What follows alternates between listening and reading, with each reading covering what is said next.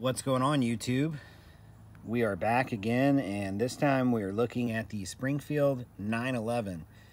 This is a subcompact 380 uh, pocket pistol and the design itself may uh, seem somewhat familiar as it looks a lot like a P238 or a uh, one of the small 380 Colts. Um, so what I'm going to do here is I'll get the uh, Springfield press release out of the way and then we'll talk about the engraving on this thing and my two cents on uh, the fit and finish and mechanisms on this pistol. So uh, from Springfield, they say with its new 380 ACP pistol, Springfield Armory's 911 is well suited for comfort, size, and convenience, making it the perfect pistol for your everyday carry.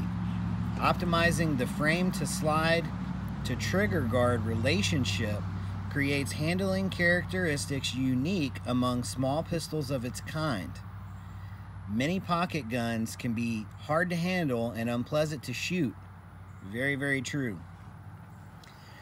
Discouraging practice at the range and time on the hip. However, the 911 380 both shoots and feels like a full-size firearm which uh, encourages both practice and daily carry in the most concealable firearm that Springfield currently offers. It's small frame shooting with the familiarity of the 1911. The 911 380 carries a crisp, short reset 5 pound trigger with the industry's only G10 trigger shoe produced by Hogue. A differentiating and satisfying feature in such a small pistol. And I'm going to try to get a close-up of it. I don't know how the lighting is going to work out here. But you can you can kind of see it there. I hope this comes out in the video. That trigger almost looks like it's jeweled, but it's not. It's that G10. Very interesting stuff. Uh, this quick positive trigger squeeze, uh, this quick positive trigger squeezes off repeat rounds with reassuring precision, a key factor in surviving defensive situations. A loaded chamber indicator and uh, hammer provide peace of mind with both visual and tactile cues allowing for various modes of carry. Designed for life-saving defensive use at close range, the 911 features ambidextrous safety and is perfectly matched with the Ameriglo Pro Glo green tritium front sight inside a yellow luminescent circle. Get a zoom in on that thing there. I mean, obviously it is super bright front sight on there. So we've got a uh, tritium front sight inside a yellow luminescent circle and a tactical rack U-notch rear sight with a green tritium inside of a white luminescent circle. Sighting is designed to provide fast target acquisition to gain the edge in a defensive encounter. The low profile design uh, is to provide uh, snag-free draw when milliseconds count. To keep the gun invisible until it's needed, the frame only measures five and a half inches long and less than four inches high with a smooth profile that's undetectable under clothing. Springfield's Octo grip texturing on the mainspring housing and front strap, which we'll check out that Octo. Pretty sweet, pretty sweet. Check out the front there. Definitely feels cool in the hand. It's It provides a lot of grip without being too much like a sandpapery grip tape type texture to it. Very nice. So additionally, the thin line grips and the mainspring housing are made of G10 by Hogue. Should the need arise, a 2.7 inch precision broached barrel gives the small gun solid accuracy at greater than confrontation distance. A full-length guide rod and flat wire spring enhance control and soften recoil. A flush six round and a seven round extended magazine provides great capacity in a small platform. Two configurations are available, uh, one with the stainless slide and then there's another one that has a black slide uh, and different color grips on it. And then you can get those two uh, different configurations also with the Viridian uh, laser grip on it as well. So the 911 is crafted from 7075 T6 anodized hard coat aluminum, the same material used in combat ready firearms like Springfield's renowned Saint AR-15 rifle and pistol. A brushed satin, matte finish stainless steel or black nitride slide completes the picture. The new Springfield Armory, 911 is an ideal carry pistol or backup gun with the features, quickness, and re reliability to save lives. When the police are minutes away and the threat is seconds away, 911. When you have to be your own first responder. That's a pretty cool tagline from Springfield. Now let's get down to the brass tacks. Uh, I, I've owned one of these for a while. Uh, this particular example in the video here is not my personal gun. This one I engraved for resale on Gunbroker. Uh, but I can tell you a few things real quick about this gun that you might not think about until it's too late. Uh, one of them is when you go to clean it, you'll notice during disassembly, and if you're like me, you probably will not read the instructions uh, before disassembly, which it comes apart like a 1911 uh, with your takedown pin here. But what you'll find when you go to put this slide back on,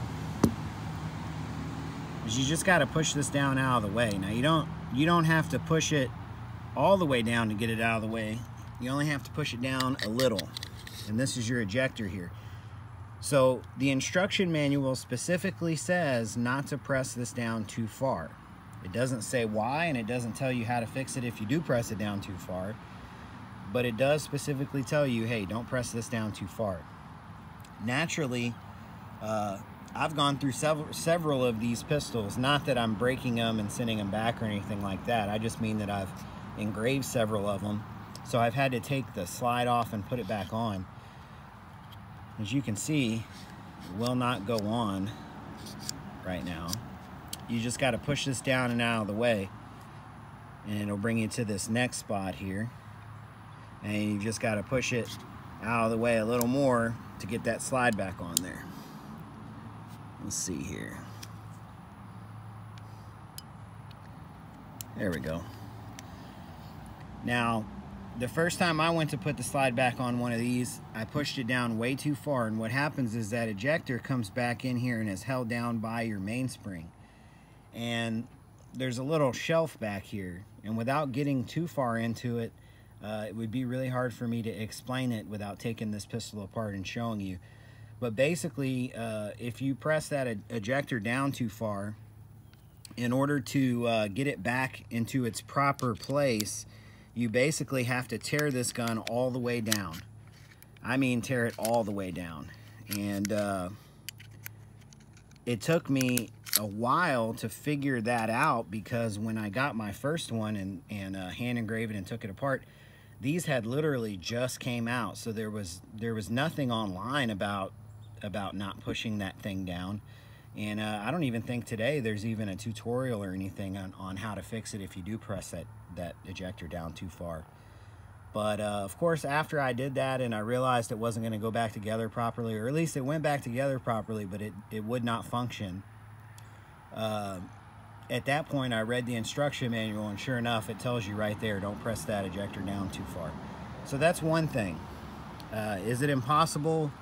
To fix. If you do that no it's not impossible. It's just a pain in the ass and it's going to take you uh, once you get good at it you could probably take this thing all the way down uh, pop that ejector back into place and and get it reassembled you know in maybe 10 or 15 minutes. But the first few times it's going to take you a while and it's a real pain in the butt. Now the other thing that I noticed with this pistol is how thin these G10 grips are especially the edges. As you can see here uh, it's a little thicker in the middle, but once you get out towards these edges, it really thins out. And although I have not broken or cracked uh, any of the sets of G10 grips on, on the ones that have passed through my uh, FFL inventory for resale, you know, engraving them and everything else. Uh, when I did have to take apart that first pistol to uh, reset that that ejector uh, under the mainspring, I, noticed that it wouldn't take much to crack these grips when you have them off.